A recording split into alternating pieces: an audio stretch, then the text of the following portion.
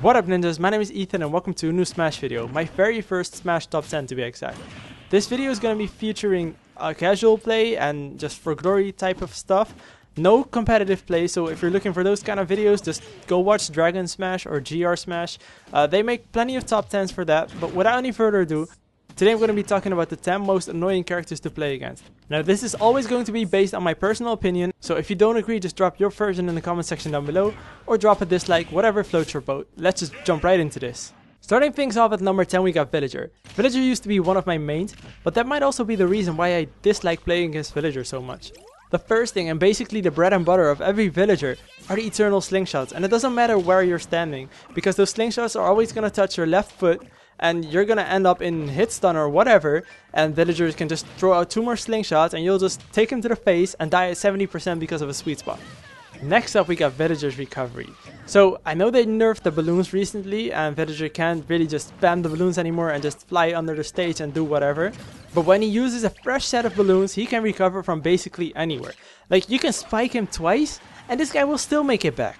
But the worst part about Villager's recovery is that he's probably the only character in the entire roster that can make it back after a Bowser side. And Bowser will die, and you can just jump and tap the crap out of your balloons and still make it back to the stage. So let's talk about one more move that Villager has, and that just drives me insane. His neutral B. it doesn't matter what kind of projectile you have, and even if you reflect his own freaking tree, Villager can just pocket it and have an instant KO weapon. And the best part is, when he returns it to you, it does even more damage than when you send it to him. So yeah, to summarize Villager, always make sure you stay in his face and don't engage him if he's off the stage. Just let him recover and then continue your battle. Up next, we got Mario. One thing I can guarantee you is that whenever you play against a Mario main, you're gonna eat up tilts and a whole lot of random smashes. Like if you do a forward smash and that doesn't work the first time, just throw out three more. You know, the fourth one is gonna hit eventually. And you know, occasionally you'll get matched up with someone that actually knows how to deal with these random smashes, but there's a solution for that, and it's called your neutral B. If your opponent creates too much distance, just spam the crap out of your neutral B, and eventually you'll land an up smash, or forward smash, or if you're really lucky and you got the perfect strat, your opponent will actually kill themselves. Now just when you think it can't get any worse, there is always Mario's side B and his down B, the cape and the flood.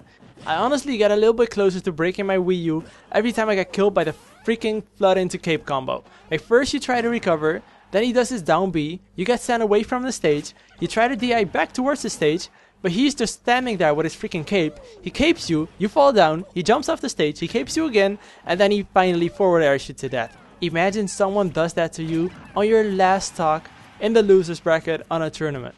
Like how would you react at that specific moment? And then afterwards, that guy is gonna stand up and he's gonna say GG and he wants to shake your hand. How would you react and what would you do to that person? Leave your response in the comment section down below because I'm genuinely curious. Number 8. King Dedede. King Dedede isn't ranked really high on the tier list, but the tier list doesn't have that much of an influence on this top 10. I really started hating King Dedede when one of my friends used to main him. Now this was all a while ago, but the wounds never really healed.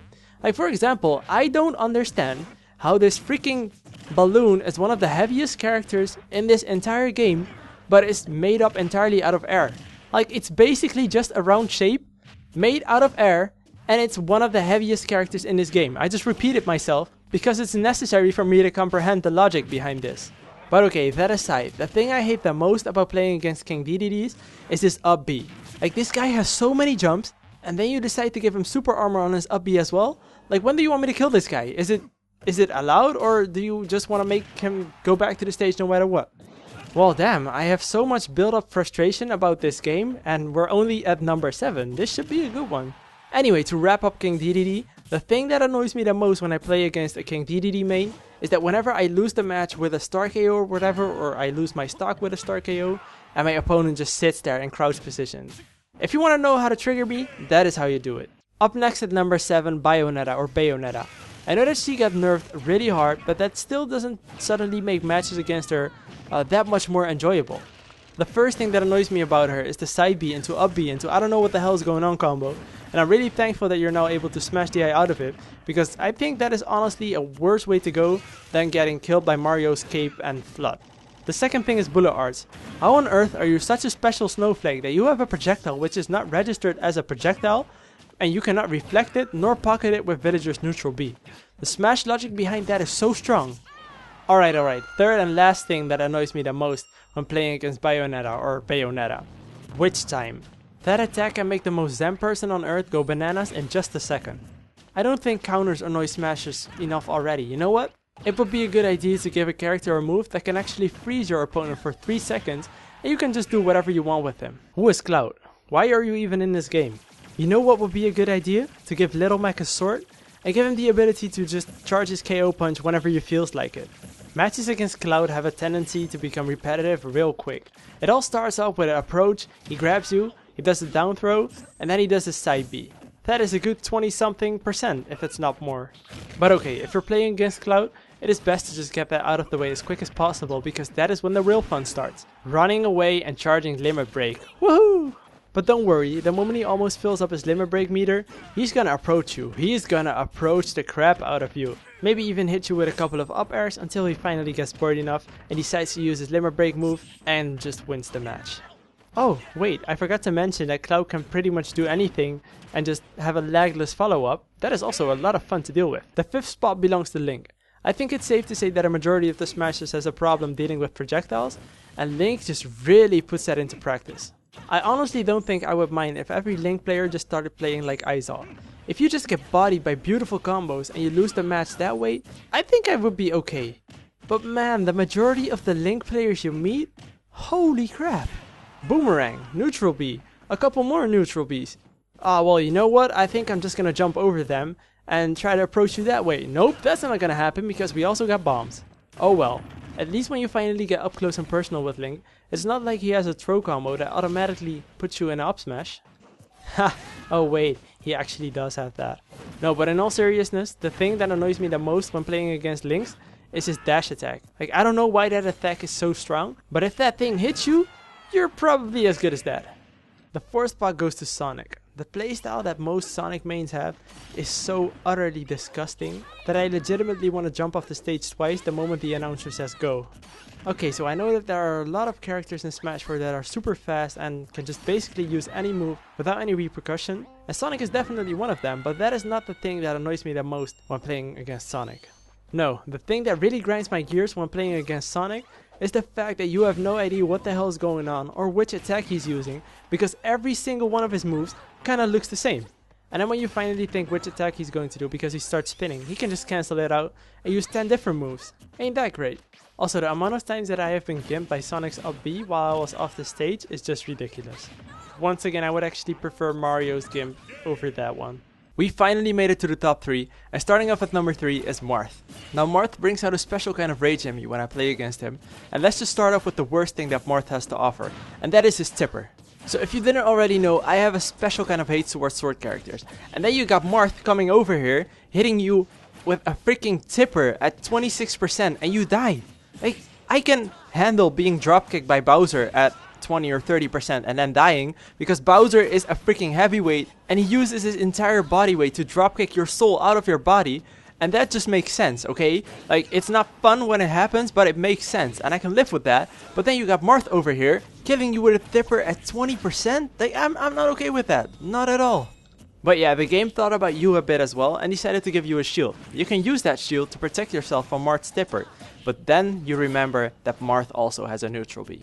Fantastic. The second most annoying character to play against is Yoshi, and I kind of hate everything about Yoshi.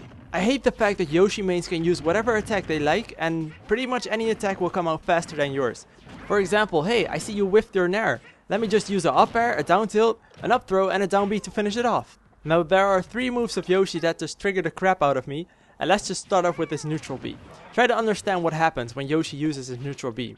He first puts you in his mouth, chews on you, swallows you, poops you out, and if you're standing at the ledge and you're kind of above 70% or something, you die. You die because you got pooped out by a character which is allowed to call himself a dragon, while Charizard isn't? Oh man. Up next is his down air, the signature move that every Yoshi main just likes to spam around a lot until you get frustrated enough and either take the damage or get a shield break. Alright, so the last thing that annoys me the most when playing against Yoshi is that Yoshi mains always like to go for a high recovery. And I just can't stand the sound that Yoshi makes when he does his double jump. There is no other sound in Smash 4 that annoys me more than the following. Please listen to this.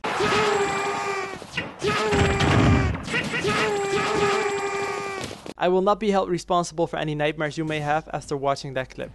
Okay guys, it is time for the number one most annoying character to play against in Smash 4. You might have already guessed this, but this spot goes to Rosalina and Luma.